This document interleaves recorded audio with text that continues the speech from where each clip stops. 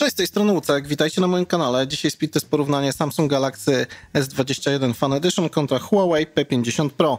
Jeżeli chodzi o Huawei, mamy Snapdragona 880, 888 bez 5G z 8 GB pamięci RAM. W przypadku Samsunga tych GB pamięci mamy 6, ale Snapdragona 888 już ze wsparciem 5G. Dobra, w, w Huawei wiadomo, nie ma wszystkiego, nie kombinowałem, po prostu co się dało, to zainstalowałem. Sprawdźmy, jak one, te smartfony działają, jak szybko otwierają aplikacje, jak pozostawiają je w ramie, to samo robimy w przypadku gier, więc lecimy. Allegro, Samsung. Następnie, co my tu mamy?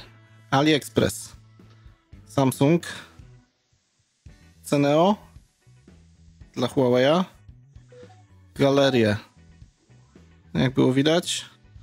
Polsat Box Go. No bardziej, no pewnie, pewnie Samsung by był, może powiadomienie jakieś jak zwykle.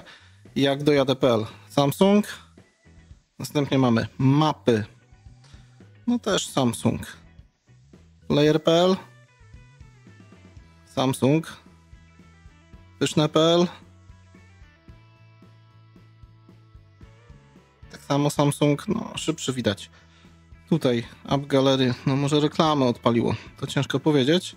Nie będziemy powtarzać yy, i to sobie powtórzymy, bo coś tu widzę, że, że ten, yy, że, że start był. Więc jeszcze raz Spotify, Huawei, następnie mamy TapTalk, Huawei, Twitter dla Samsunga i wykop. Niestety tylko tyle aplikacji.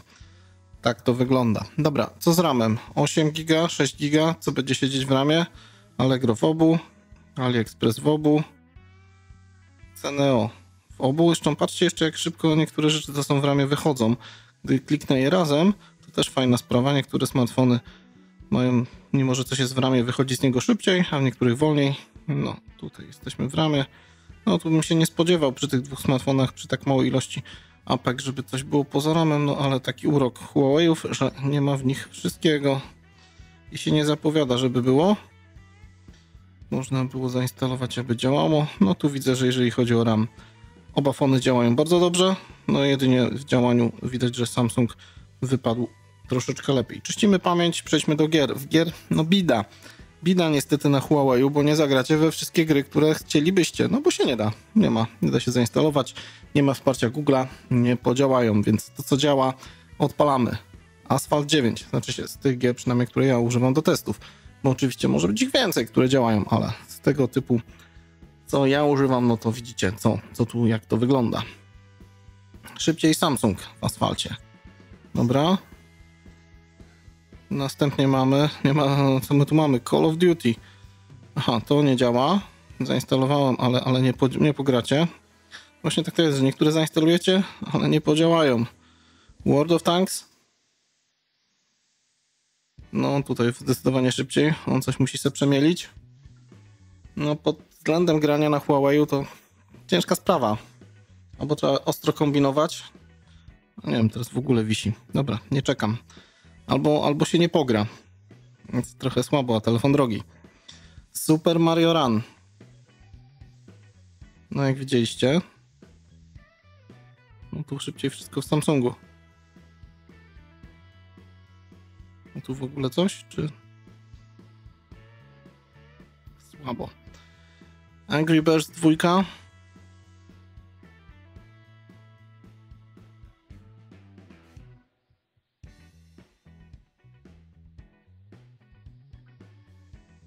No, widzę, że coś myślą oba. To grubo. Cóż to się stało? Jakieś problemy na łączach?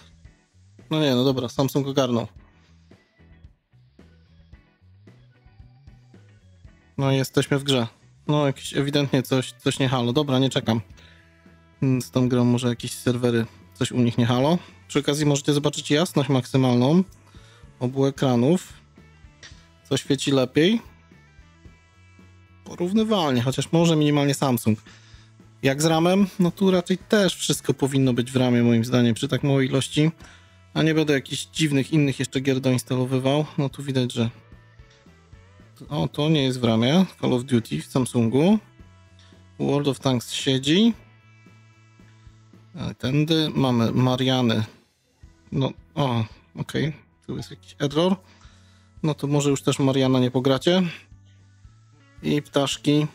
Tutaj z Wisły, tu są no cóż, no Huawei aktualnie do grania to ja nie polecę, no więc na pewno wybierze tutaj Samsunga. Tak wygląda, jeżeli chodzi o tego typu tematy ogólnie. No co bym wybrał? No wiadomo, że Samsunga. Huawei ciężko wybrać teraz przy tym, jak to wygląda, chociaż zdjęcia ma fajne, no ale cóż. Gdyby było wszystko dobrze, to by było ok, a jeszcze jego cena jest naprawdę duża, więc telefon dla tych, którzy chcą go mieć. Dobra, tyle odnośnie tych dwóch smartfonów. Odnośnie jednego i drugiego jest porównanie tutaj speed tester z innymi smartfonami, dzwonek, subskrypcja, komentarz. Oczywiście inne firmy też, filmy też o tych smartfonach są, więc na dzisiaj tyle. Z tej strony UCEK, trzymajcie się ciepło, hej!